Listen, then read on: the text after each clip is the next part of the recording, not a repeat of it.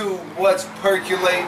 It's your man, Mr. Foamer Simpson, back with another sneaker video. Before we get started, make sure you click on the gear button below and watch this in 720 HD. This year's All-Star pack is definitely fresh, although I like last year's a lot better overall. I wanted a couple of the sneakers this year, but I didn't want to camp for them.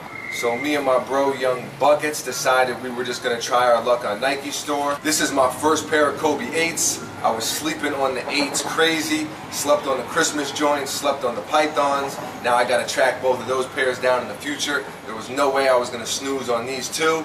In person, they are definitely ill. I'm glad I was able to get my paws on them. But enough of all the yapping, let's take a gander. Kobe 8 system box with the Area 72 sticker basically says these joints are toxic and should not be trifled with. Size 13, retail is 180 smackaroos, but I think this shoe is worth it and I'm about to show you why. First off, peep the newspaper they threw in here, nothing like a little reading material. A dude like me, I just take the sports section and the funnies and break out. Leave the rest for whoever. So the packaging is definitely a nice touch, but at the end of the day, it's all about the kicks. Bang bang. The Kobe 8 extraterrestrial. Tell me these don't pop. These joints are ferocious. A lot of people were saying these look like pizza.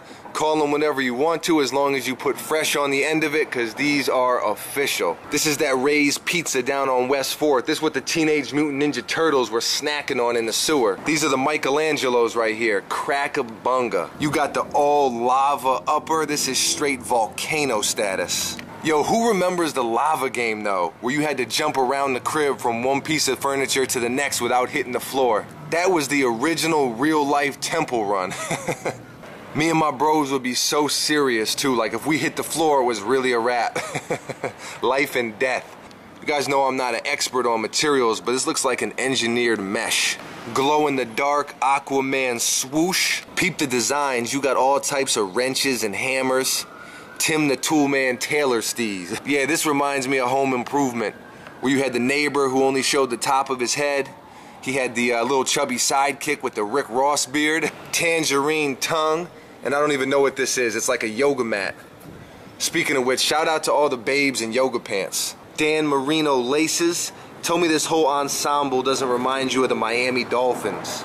Laces out, Dan. Mamba logo up top popping kind of nice with that grapefruit hit in the middle. Same grapefruit on the lace tips and on the eyelets as well. Oh, and this teal, just like the swoosh, actually glows in the dark also. You got the little turquoise swoosh on the inner part of the shoe on top of this Tropicana leather. This dead ass looks like an orange peel, texture and everything. And it actually wraps all the way around to the back of the shoe. Vanilla heel cap, plastic with the Kobe SIG, Sherbert Kobe logo underneath. The back of the shoe kind of has a creamsicle feel to it. Galaxy interior with the Jimmy Neutron insole. These did not come with the Nike chip, but they have the capabilities if you are so inclined. You can scope the math, the production dates, and all that jazz. Exciting, I know. And one of the coolest details of the shoe is this snake on the back of the tongue. My man has the planet in a straight chokehold. You got the coconut midsole,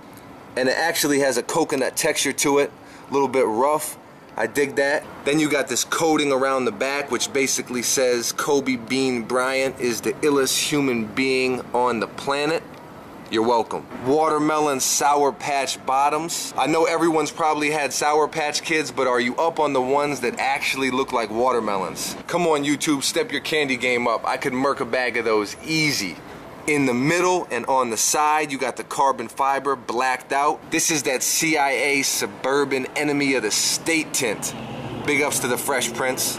Overall, sick pair of kicks. I'm glad I was able to get them because I missed on most of the pack.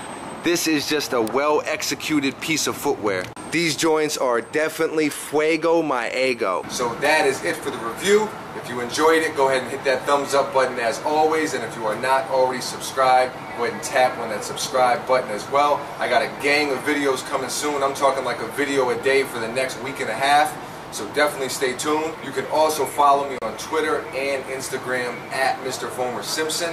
And I actually just started up a blog too, MrFoamerSimpson.blogspot.com. I'll put the link below. I'm gonna be talking about all kind of random stuff, not just sneakers. So go ahead and peep that if you got a minute. I almost forgot. A Cage Apparel sent me this Fighter Jet tee. Now I personally passed on the Fighter Jet foams, but if you got the foams and you're looking for a tee to match it, bang bang. My man is getting his rabbit hump on right there. on the back you can see F the world. The link to the store is below. So if you're interested, go check them out. You can get free shipping if you use the promo code FOAMER, all caps. So go check them out if you're interested. But that is pretty much it. So until next time, you know how we do. Mr. Foamer Simpson, out. Laces out, Dan. That's why Roger Podacter's dead. He found Captain Winky.